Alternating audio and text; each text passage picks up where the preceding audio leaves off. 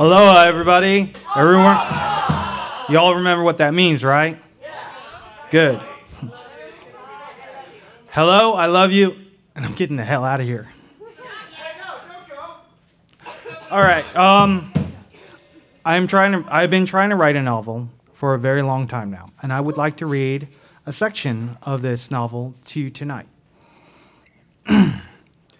Morph set down the hammer and looked down over his shoulder as the mist rolled at the edge of the doorway. Horaku had been taken in by the forging, but he too could sense it now. There was a hostile presence coming from the mist. Regardless of who they were standing outside, they were obviously there for one reason to kill someone. It is very rude to stand there and not answer. If you're planning to kill me, at least have the courtesy to step, of stepping out and taking my life uh, face to face, Morph said while wiping, the fore- wiping his forehead and looking back over his shoulder. Two figures stepped forth, dressed all in black, but these weren't beastmen. More than likely, they were from the Shirazian Empire, more commonly known as the Shadow Elf Nation. Not much was known about them, but they did perform acts of assassination for the right price. Their faces were hidden behind black cloth that came down from their turbans. The foremost figure spoke. I'm surprised that you even knew we were here. I'm most interested in the other three behind you, however. However, I will give you all this warning. Turn back now. There is no need for bloodshed this night, Morph replied with a smirk on his face. It started with as a snicker from the fog and became a roar of laughter from the small group of assassins, stopping abruptly with a low growl coming from the mist. Oh, don't worry, little boy. You will not only you're not the, you're not to be the only one to join in the shade tonight. Your family and people should not have stuck their noses in this affair. Your blood will send a message to the others, young prince. So be proud. But know this: we take no pleasure in killing a child. well, this will be interesting to see, Haraku said, leaning back, placing a pipe in his mouth. I did not think this would this night would yield so many treats for me to see. Morph smirked and turned back toward the furnace, sliding his hands around the hilts.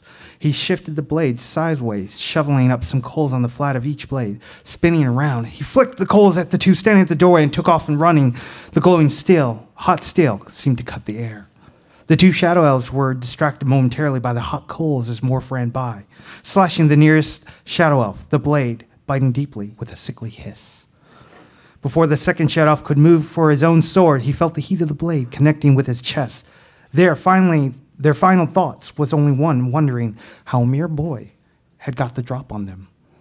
The three still waiting in the mist for, rushed forward, finally revealing themselves as leopard men. Their fur was white as snow, and with gray and black spots, which allowed them to remain hidden within the mist. They stood at least a foot taller than Morph, and the mist seemed to fall behind them their attack as if it were alive.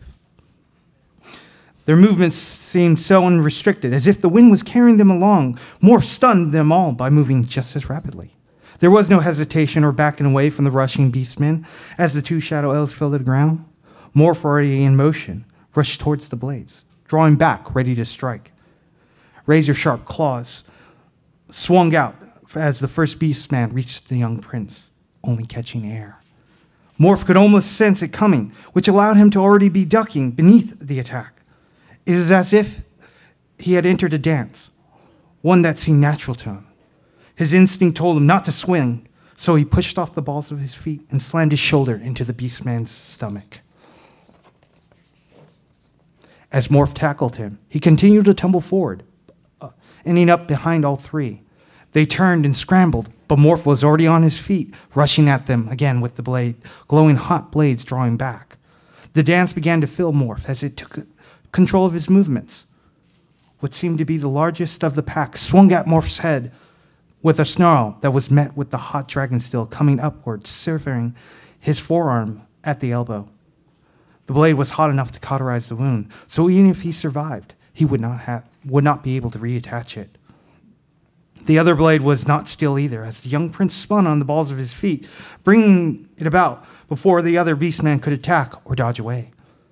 He caught the sharp end of the dragon steel in his chest and up and upward towards his throat. The force of the blow caused the, this creature to fall backwards, limp to the ground, and and release a low gurgling noise. The dance did not stop as the blade sung through the air, coming back in for another drink at the leopard man who had lost his arm.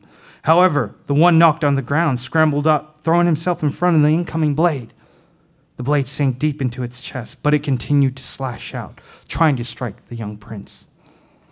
Morph let, let the blade go and brought the blade, his other blade up in defense. There was still enough power to force him backwards, even though the leopard man was dead.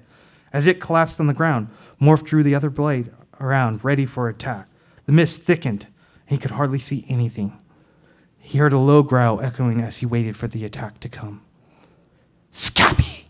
A female voice ec- echoed as it dissipated, the fog dissipated into the air. Morph knew instantly who, who this vo- voice belonged to and saw the last leopard man standing over the other two, his arm missing below the elbow, and he released a roar of anger towards Morph. You will pay for this, for my brother's bloods. A monster like you is no child, and I swear you will pay for this. Thank you. Mahalo.